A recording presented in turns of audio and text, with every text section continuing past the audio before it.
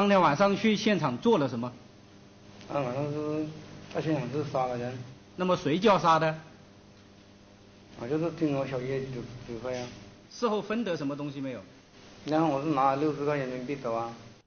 大耳频道云大集，贺州位于广西壮族自治区的东北部，地处湖南、广东、广西三省交界地。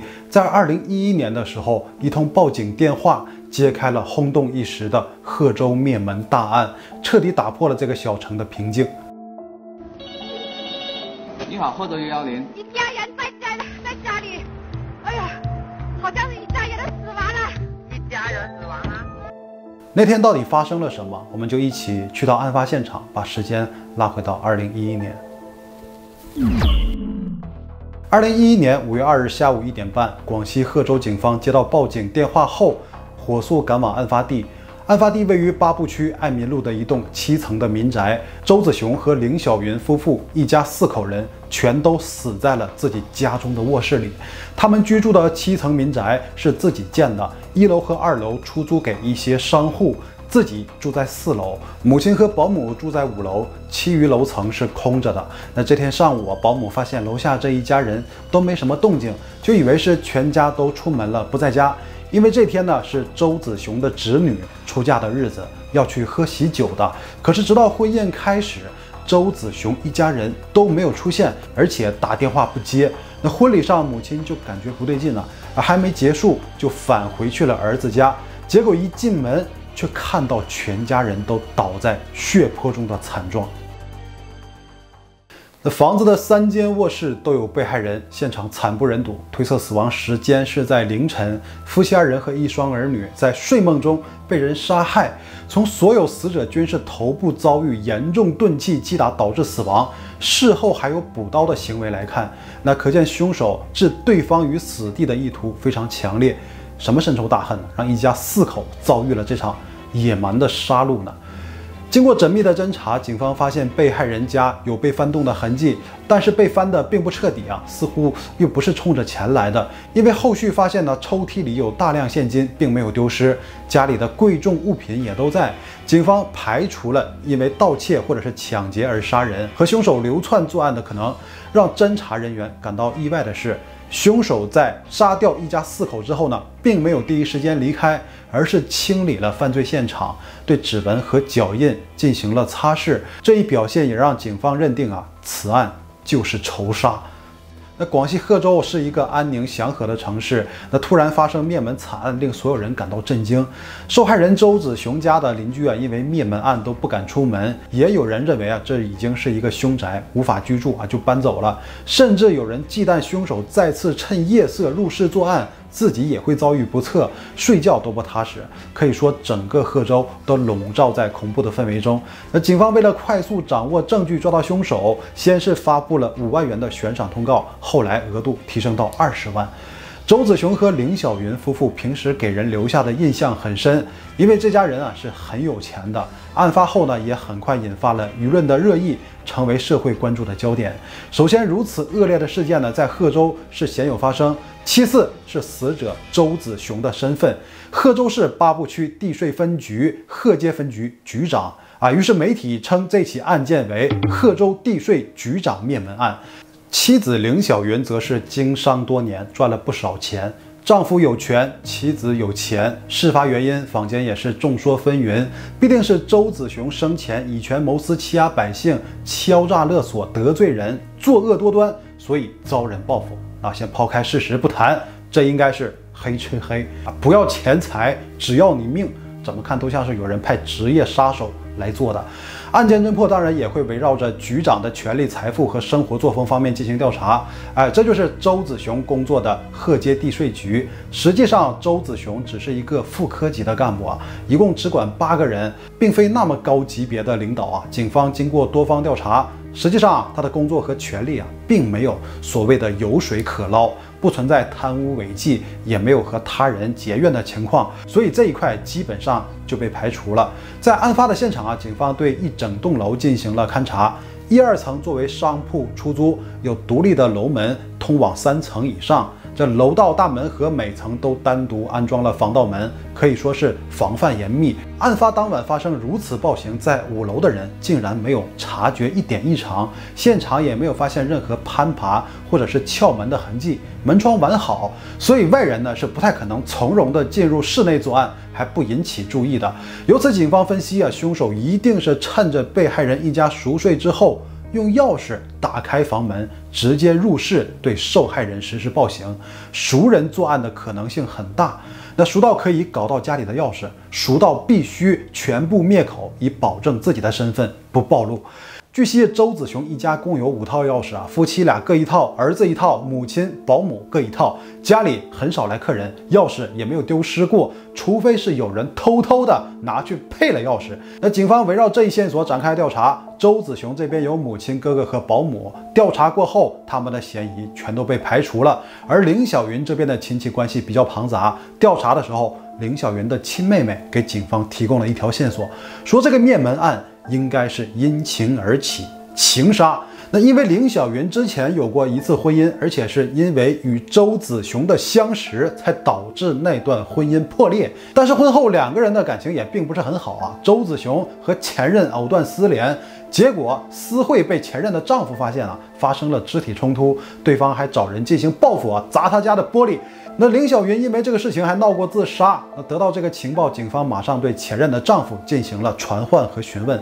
确实呢，周子雄的生活作风存在问题，两人有矛盾，但是对方既没有钥匙，也没有作案时间，很快就排除嫌疑。那调查到这儿，可以确认杀人动机。既不是工作矛盾，也不是情杀。那警方看过死者林小云的账本啊，发现她是一个心思极其细腻的女人。无论是在公司还是在家，任何消费都会记账，所有经济往来的关系在账本中也体现得非常清楚啊。账本上显示呢，林小云和其他人不存在重大的经济矛盾，但可以看出她的一些习惯和特性。就是即便如此富有了啊，可小到几元钱的支出，他都会记在账本上。案发后第八天，反复研究现场的民警又发现了一条新的线索，也恰恰是这个线索让破案有了新的进展。那警方最初就发现呢，凶手在作案后用抹布啊擦拭过现场，而刑侦专家进一步仔细勘查之后，还是发现了现场地面擦拭旁边隐约显示出半个脚印。经过核验发现呢，这是一双三十七码的女士拖鞋留下的。警方推测这是一个身高在一米六五以下的女性的足迹。那此时负责调查钥匙线索的警员也有了线索，林小云的母亲。曾经到他家里居住过一段时间，他就给了母亲一套钥匙，方便进出。老人走了以后，就把钥匙交给了小女儿凌小娟。那么他是完全具备。再去配钥匙的条件，林小娟的身高一米六一，穿的鞋子就是三十七码，和出现在死者家中留下的痕迹吻合。但是妹妹怎么可能会对自己的亲姐姐下毒手呢？而且这个案件的残忍程度啊，一个女人是不可能完成的。更何况呢，所有的亲戚都说姐妹两人的关系最好啊，走得最近。案发后呢，警方与林小娟接触过四次，都没有发现过什么异常。她还主动给警方提供过线索啊。那给警员留下的印象就是性格很直，说话毫不遮掩啊，有问必答，干脆利落，嘴皮子伶俐的感觉。可是随着警方对林小娟调查的深入啊，出现在她身上的疑点是越来越多。在调取了林小娟手机的通话记录后，警方发现。案发后半夜的两点到五点之间，林小娟频繁给一个号码打电话。经过资料调取啊，对方机主是一个男性，叫刘胜明。这个刘胜明啊，是他和死者的外甥女苏杰的男朋友。在案发之后，警方发现苏杰和刘胜明突然离开贺州，跑到了千里之外的广东东莞。综合一系列可疑的因素，这几个人的嫌疑就变得很大。民警立即行动。二零一一年五月十九日，将有重大嫌疑的苏杰、刘胜明进行了抓捕。审讯之后呢，确定案件的参与者一共有三人：苏杰的男朋友刘胜明、哥哥苏可章，还有一位就是整起事件的主谋林小娟。苏杰精神濒临崩溃啊，他是完全不知道发生了什么事情，还单纯的以为只是和男友一起到广东来工作。这起轰动的灭门大案在历时十八天后呢，成功告破。被抓捕的嫌疑人和死者周子雄一家都是亲属关系，主谋林小娟还是林小云的亲妹妹。她和姐姐之间呢，究竟有着怎样的过节，以至于下此毒手，挥刀相向，灭他满门呢？那外甥苏可章和外甥女男友刘胜明又充当着怎样的角色呢？林小云、林小娟姐妹的老家在贺州市黄田镇的一个农村，兄弟姐妹共五人啊，上面还有一个大姐，姐妹是三个。大姐身体不好，一直都在农村生活。二姐林小云头脑非常聪明，在贺州市做钢筋水泥的生意。妹妹小娟和丈夫就是普通的工薪阶层，但是凭借努力工作，也攒下了一些积蓄。两千年，姐姐林小云刚做生意啊，缺少资金，就开始想办法嘛。结果就是让妹妹小娟夫妇辞掉工作，过来帮他打理，啊，说有钱一起赚嘛，啊，并让林小娟投资了十三万元。林小娟的丈夫到她这里负责管理工地，并且身兼多职，夫妻俩和姐姐多了一层老板和员工的关系。那两姐妹都经历过一次失败的婚姻，妹妹再婚嫁的就是前文提到的这位。那林小云再婚嫁给了税务局干部周子雄。那周子雄的家庭条件很好啊，婚后他的生活状况发生了改变。随着时间推移，生意也是越做越大，盖新楼、买新车，坐拥千万家产。而周子雄对于妻子娘家人的态度是很淡漠的啊，外人能看得出。就是带点瞧不起农村来的人。那林小云的母亲到贺州看望女儿，也会和亲家母啊闹得很不愉快，所以这就算是埋下了一个隐患。那然后林小云在有了钱之后呢，也开始嫌弃这帮穷亲戚。这个林小娟认为姐姐有了钱以后尖酸刻薄，甚至是为富不仁，一直高高在上，对家人的苦难也视而不见。比如身体不好的母亲和大姐看病，到了医院，她就说我没带钱，小娟你先拿。然后就没有然后了。那妹妹说，她就是这样，和家里人在金钱的问题上耍心机，甚至为了十块钱会吵上半天。所以娘家的事情，林小云就是不闻不问，只要有事情都是妹妹帮忙走动和处理。姐姐和家人的关系变得越发疏远，那亲戚之间呢也都能感受得到，哎，所以也都很识相啊，不会盲目的去攀这层关系啊，本本分分过好自己的日子，大家相安无事。如果感情疏远这种事情，可以默默接受。那么现实的问题就是必须要面对的。那之前说到的投资，随着生意越做越大，没有得到任何承诺过的回报。那妹妹林小娟的工资还被压低，最后失去了在姐姐公司的工作，而且丈夫的工资也是长期处在拖欠的状态。一到结工资的时候就拖来拖去，妹妹每次追要的时候，姐姐就显得很烦躁啊，说你整天工资工资啊，我这现在还没钱呢。那林小娟说，只要是钱进了她的账里啊，就很难要出来，即便本应该是属于自己的钱也一样啊。姐姐就是感觉自己好欺负，她的生活开始窘迫起来。不得不精打细算的过日子，他感觉每一次姐姐对自己的欺压都在积累着自己的愤怒。案发当晚的林小娟就是想给孩子订牛奶喝，向姐姐林小云索要拖欠丈夫的工资啊，两人就又发生了争吵。姐姐就说：“我自己家孩子都没喝牛奶，你们喝什么呀？”话里话外就是不想给钱了，态度就好像是打发要钱的乞丐一样。那林小娟就受够了姐姐的羞辱啊，所有的事情慢慢累积到这个晚上，她彻底爆发。决心做个了结。这外甥苏可章的母亲，也就是两人的大姐啊，病重的时候，凌小云拿过五千元，之后就再也不管了啊。最终大姐在医院病危啊，也是因为没钱治病，导致早早离世。于是二十七岁的苏可章也是长期对这个二姨凌小云心存不满，和小姨呢一拍即合。外甥女的男朋友刘胜明才二十一岁，被两人一顿忽悠，头脑一热就上了贼船。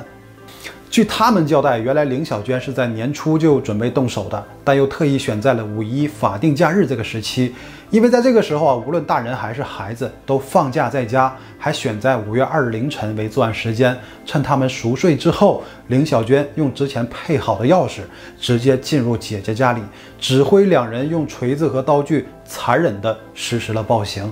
作案结束后呢，三人并没有逃跑，而是准备打开周子雄母亲和保姆所在的五楼，目的就是一个不留。后来因为林小娟的钥匙没能打开门锁，几个人就离开了现场，老人和保姆逃过一劫。整天的在我面前就是侮辱，很难听的话都在侮辱我，伤害我们之间的感情。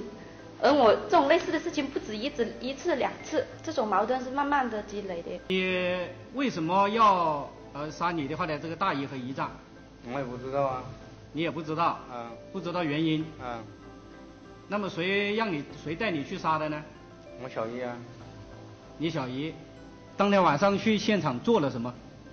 啊，晚上是在现场是杀了人，那么谁叫杀的？我就是听我小姨指指挥啊。事后分得什么东西没有？然后我是拿了六十块人民币走啊。在法庭上，控方认为，之所以他们杀害了那么多人，是因为林小娟有着自己的计划，除了发泄对姐姐的怨恨，就是想让周家的千万家产减少继承人，后续好通过遗产的继承让自己获益。因为姐姐死了，母亲就可以得到姐姐的那一部分遗产，那么自己也就可以从中获得好处了。当然，面对这种怀疑，林小娟在法庭上矢口否认。二零一一年十一月九日，广西壮族自治区贺州市中级人民法院作出一审判决。法院认为，被告人林小娟、刘胜明、苏可章犯故意杀人罪，动机卑劣，犯罪主观恶性极深，手段特别残忍，社会危害极大，判处三人死刑，剥夺政治权利终身。一审宣判后呢，三人不服，均以一审量刑过重为由提出上诉。林小娟更是辩称自己没有纠集指使，亲自动手杀人，属一时糊涂、精神激动参与犯罪活动，向二审法院申请做司法精神病鉴定。最终呢，全部被二审法庭驳回，维持原判。二零一三年一月二十四日上午十点三十分，贺州五零二灭门案，三名罪犯被执行死刑。林家的老母亲接连送走了三个女儿，曾经围绕在膝前的三朵金花，一个中年离世，一个横死家中，一个被法律制裁，曾含辛茹苦抚养长大，出得亭亭玉立而带来的莫大欣慰，直到今日白发人送黑发人，那人世间最大的悲剧和痛苦也莫过于此了。林小娟有很多方法结束和姐姐之间的纷争，但是却给利益熏心呢包裹上了复仇的外衣，毫无人性的制造了灭门惨案。